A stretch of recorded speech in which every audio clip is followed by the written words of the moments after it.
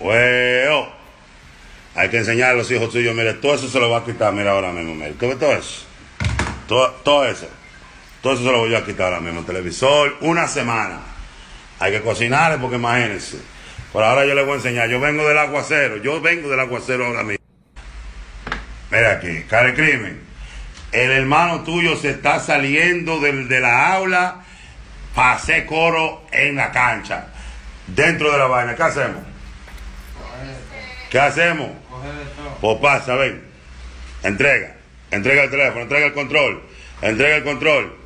Entrega el control. Como yo le digo a ustedes, yo vengo de, yo, yo también vengo mojándome. ¿Eh? Una, un lápiz, un lápiz, bicho, un lápiz pesa menos que una pala.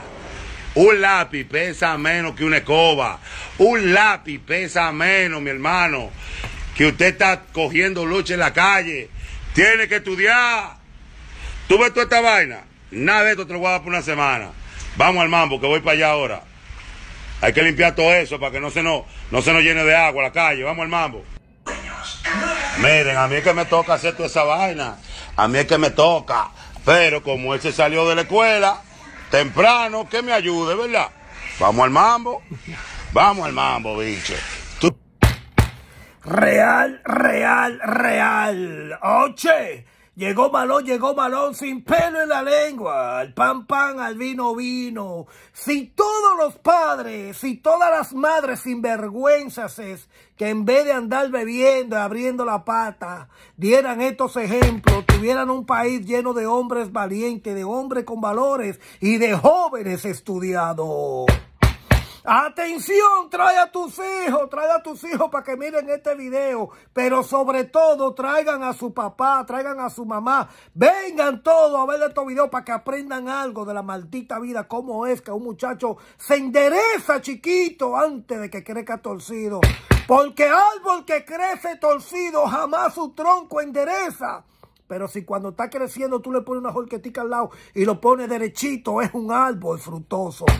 Real, real, real, real, real. Un lápiz pesa menos que una pala, que un blog. Un lápiz pesa menos que 15 años en la cárcel por andar atracando por no ser nadie. Este señor lo andamos buscando, hay que grabarlo. ¿Dónde está ese señor? Usted es un varón, a usted hay que darle un trofeo, coño real. Porque le puso ejemplo. Oh, tú no fuiste a la escuela, tú cortaste clase. Oh, tú te saliste de la escuela temprano. Oh, tú no querías ir a la escuela. Pues ven, coge un pico, una pala, de tu maldita madre. Y fájate a trabajar, ven, como si fuera un haitiano. Real. Real. Atención. Palabra sabia de Malón.